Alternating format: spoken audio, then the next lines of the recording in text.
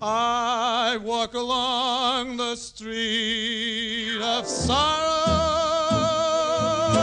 the boulevard of broken dreams, where gigolo and gigolette can take a kiss without regret, so they forget their broken dreams.